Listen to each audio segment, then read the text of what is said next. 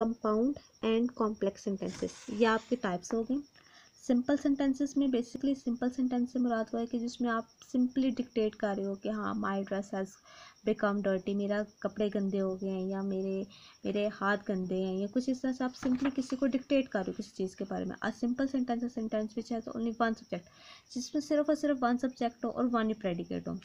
Basically subject का part आपको मैं बता दूँ कि कौन सा होता है सब्जेक्ट जो अपना टास्क परफॉर्म कर रहा है। ये सब्जेक्ट है, बाकी जितना भी आएगा प्रेडिकेट है। प्रेडिकेट में ही आपका वर्ब ऑब्जेक्ट सब चीज़ें आ जाती हैं, ठीक है?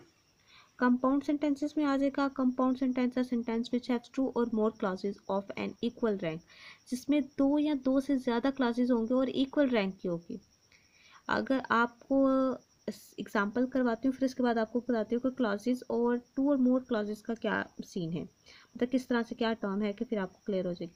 We switched on the T V and watch a film basically जब दो सेंटेंसेस को कंबाइन करेंगे, और आप एंड और बट बेसिकली कंजक्शंस के वर्ड आप अगर यूज़ करेंगे तो जब भी आप इस तरह के वर्ड यूज़ करके दो सेंटेंसेस को इकट्ठा करके लिखेंगे तो वो आपके क्या हो जाएँगी? टू क्लासेस टू और मोर क्लासेस को जब ज्वाइन करके आप लिखेंगे कोऑर्डिनेट क्लास बना कर लिखेंगे तो आपके कंपाउंड सेंटेंसेस होते हैं। सिंपली आपको यहाँ पे अगर मैं ये कह दूँ कि जब आप दो जुमलों को जोड़कर एक जुमला बनाकर लिखेंगे तो वो आपकी कंपाउंड सेंटेंसेस आ जाएँगे। जैसे आई एंड ही जैसे कि कह लें कि Nimra and Sadia are playing together मतलब निमरा और सादिया इकट्ठे खेल रहे हैं।